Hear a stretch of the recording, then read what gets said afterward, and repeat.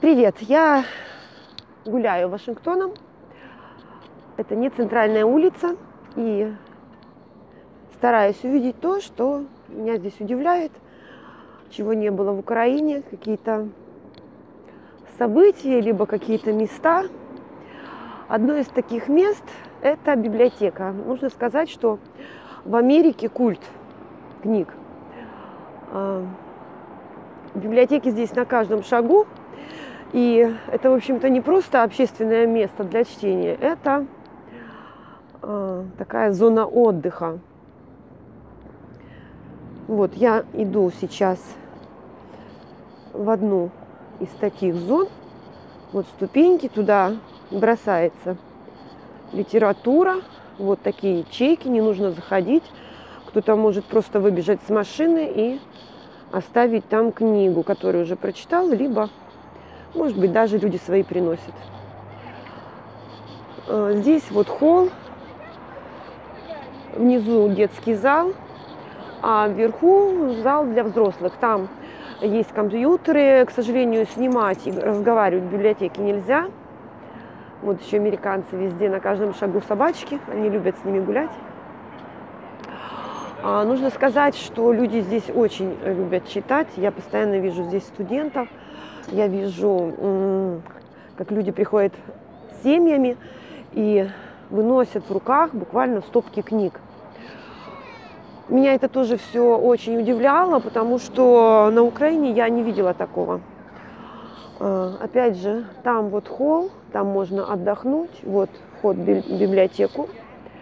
Никто никого не выгоняет, и очень часто сюда заходят люди бездомные, просто передохнуть, не знаю, съесть какой-то бутерброд.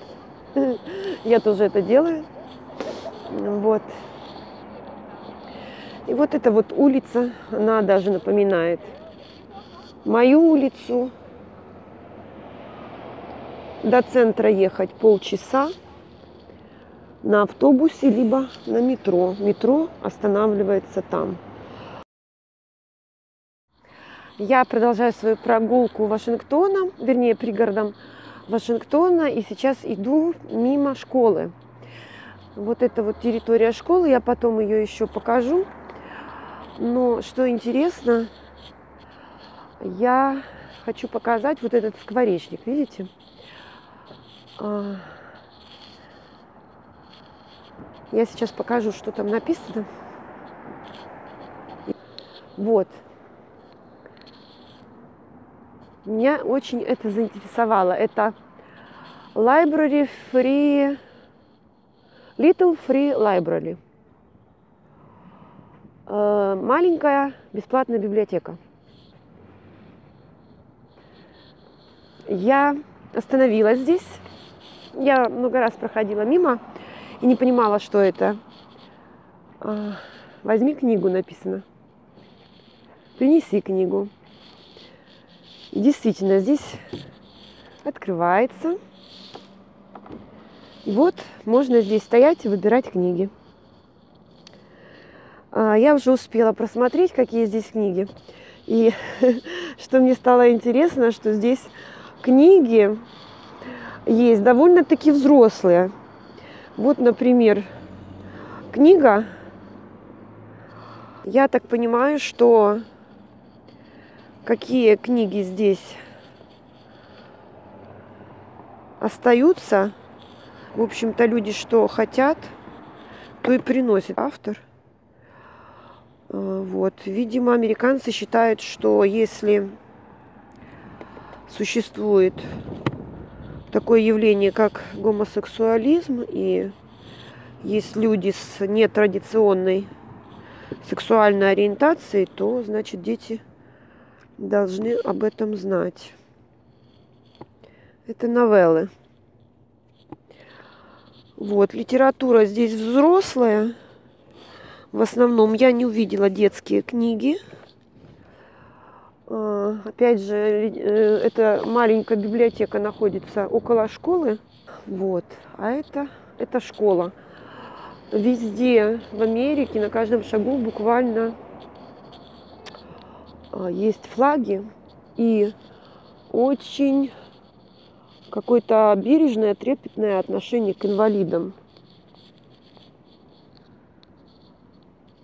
То есть э, люди живут нормальной жизнью, люди, которые имеют какие-то физические ограничения, они не комплексуют, они, а, в общем-то, имеют все права, и им создаются все условия. Вот опять же флаг.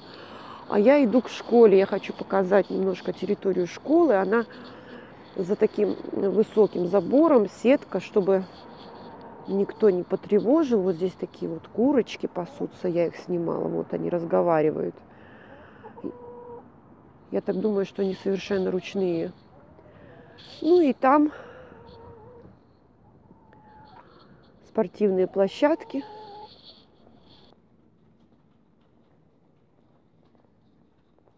Я сейчас немножко прошлась по залу, здесь нельзя снимать.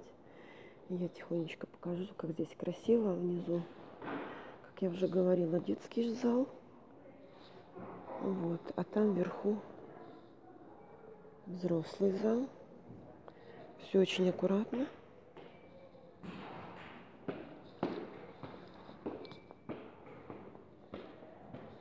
Все в стекле. Здесь есть вот это очередной бездомный зашел.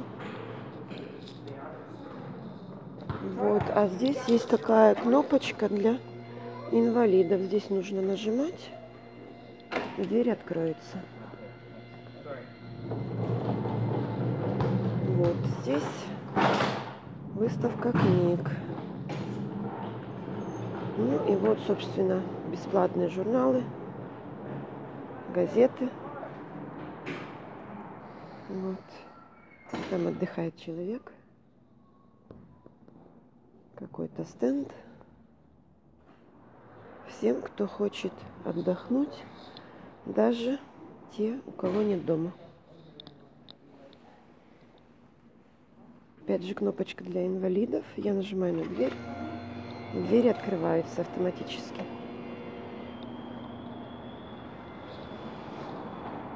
На меня так все смотрят подозрительно, а я тут партизаню с камерой.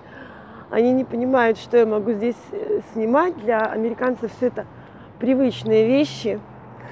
Я не могу удержаться, мне все интересно. Ну, я, конечно, не все понимаю, потому что э, рядом со мной сидела женщина, явно психически больная. Я ее вижу в этой библиотеке уже не первый раз.